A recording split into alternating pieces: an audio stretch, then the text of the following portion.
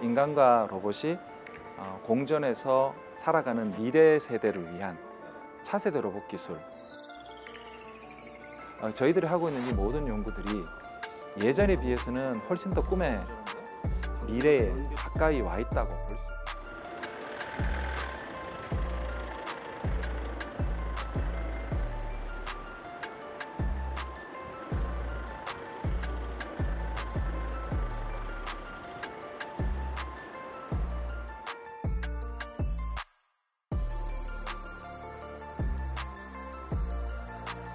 네, 안녕하세요. 한국기계연구원 로봇 메카트로닉스 연구실 박찬훈 연구실장입니다. 한국기계연구원은 아, 정부 출연연구소로서 어, 대한민국의 기계 분야 종합연구소라고 할 수 있습니다. 아, 한국기계연구원에서는 아, 다양한 인력들이 로봇 연구를 하고 있는데요. 아, 모토는 하나입니다. 인간과 로봇이 어, 공존해서 살아가는 미래 세대를 위한 아, 로봇에 관련된 원천 기술을 개발하는 것을 목표로 하고 있고요. 로봇이라고 하면 일반인들은 어, 우리 이제 만화 영화에서나 아니면 SF 영화에서 보시던 로봇들을 생각을 하십니다.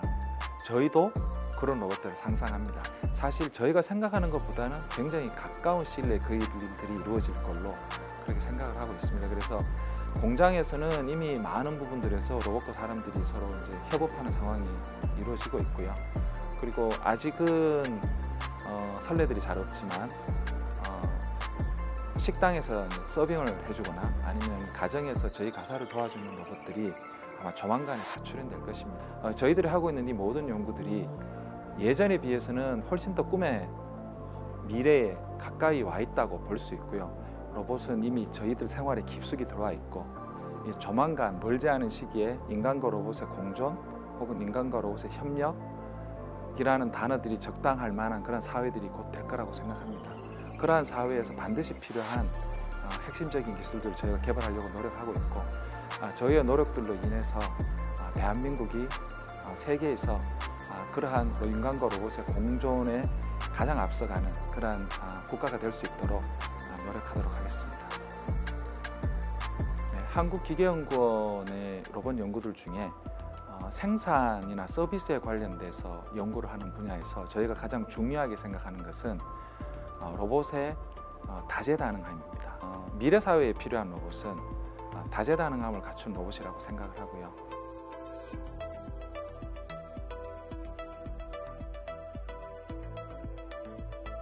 맞는 그리퍼부터 설명을 드린다면 어, 기존에 있던 그리퍼들과는 다르게 한두 가지 제품을 이렇게 다룰 수 있는 그리퍼가 아니고 일상생활 중에 우리가 만날 수 있는 많은 다양한 부품들을 다 다룰 수 있는 그리퍼에 관련된 연구입니다. 그래서 어, 접시도 잡을 수 있고 그리고 어, 드라이버와 같은 공구도 잡을 수 있고 어, 삼계탕에 사용되는 어, 생닭과 같이 어, 식음료들도 저희가 이제 다룰 수가 있고 그리고 심지어는 두부도 다룰 수가 있고 뭐 이렇게 다양한 그 우리가 일상생활 중에 만날 수 있는 여러 가지 것들을 한꺼번에 다 처리할 수 있는 그리퍼 식당에서 서빙을 하는 로봇도 있을 수 있는데 식당마다 그 서빙의 종류가 다 다를 것이고 공장에서 어, 인간 작업자와 같이 아, 작업하는 로봇들의 경우에도 다양한 작업이 투입이 돼야 되기 때문에 서비스 종류가 굉장히 다양한데 그 다양한 종류에 다 사용될 수 있는 아, 그리퍼라고 할 수 있습니다.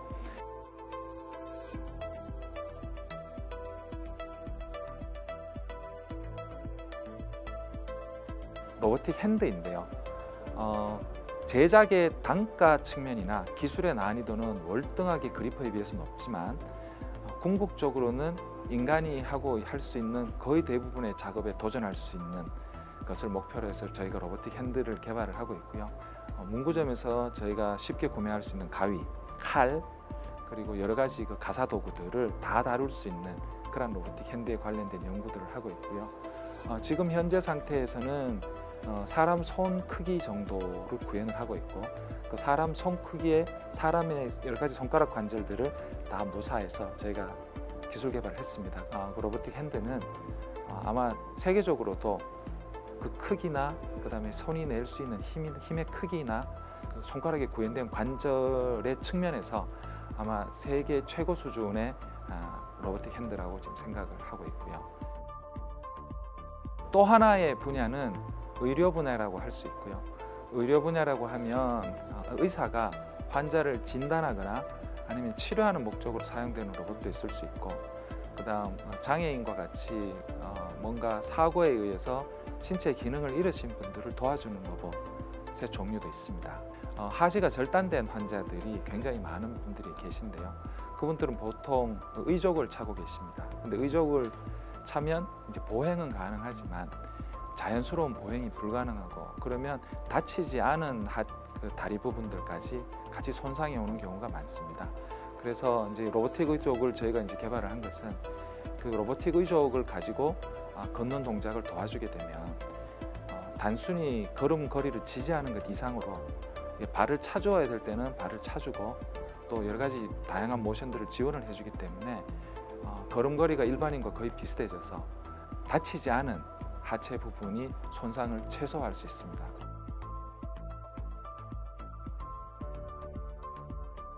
그 다음 분야는 어, 진단을 도와주는 분야인데요.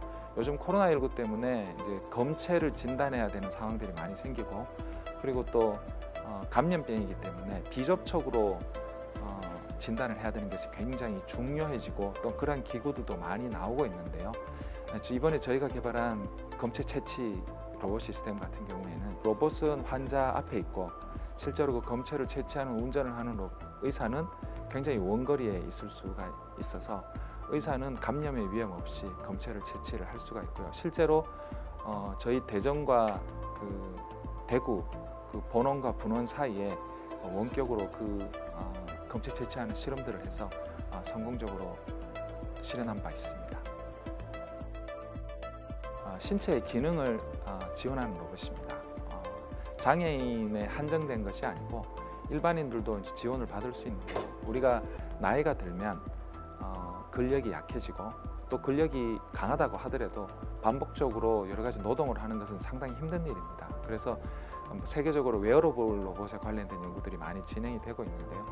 그 웨어러블 로봇에 관련된 그 많은 단점 중에 하나가 거추장스러움입니다. 그래서 큰 힘을 내도록 도와줄 수 있고 뭐 여러 가지 장점이 있지만 착용하기가 굉장히 어렵고 굉장히 무겁고 이제 그러한 면이 있는데요.